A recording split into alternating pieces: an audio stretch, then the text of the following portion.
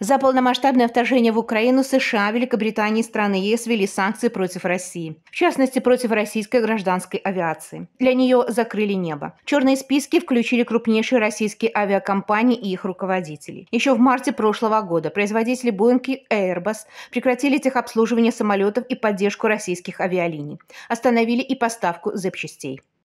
Мы розуміємо, що стан Мы понимаем, что по состоянию на конец февраля в российских авиакомпаниях использовали около 700 единиц западных самолетов, в общей сложности почти 1000 самолетов. То есть речь идет о двух третьих всего авиационного парка, который есть в России. Это самолеты западного производства, преимущественно это Boeing и Airbus.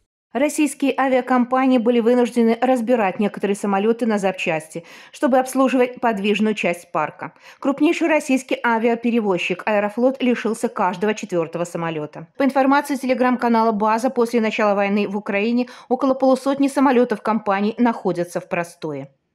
Еще 18 бортов находятся на техобслуживании и ждут ремонта. Правда, ждать они могут долго. У аэрофлота не хватает предкрылок, фар, вспомогательных силовых установок, воздухозаборников, кислородных генераторов и двигателей. Есть проблема и с тормозными устройствами. На складе авиакомпании всего по несколько подобных деталей для разных типов самолетов. Еще 25 самолетов, находящихся в простое, разбирают, чтобы оснастить исправными деталями другие борта. Из сообщения телеграм-канала «База».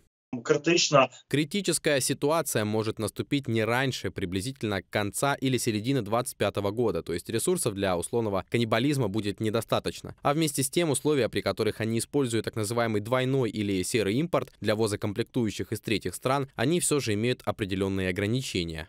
С начала 2023 года авиационные аварии в России продолжились. Таких зафиксировано уже семь. Так, 9 января в Ненецком автономном округе в результате оледенения потерпел крушение пассажирский Ан-2. На борту находилось 12 человек. Двое из них погибли, четверо травмированы. Еще в сентябре прошлого года, входящая в структуру ООН, Международная организация гражданской авиации поставила России красный флажок. Он указывает на серьезные проблемы в области безопасности полетов.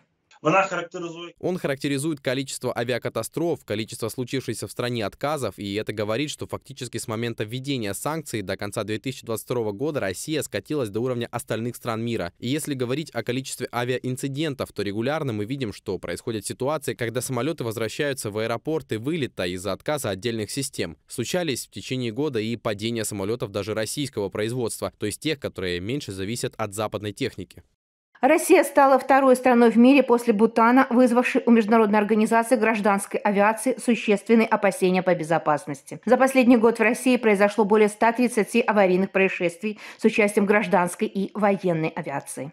Юлия Биль для телеканала «Фридом».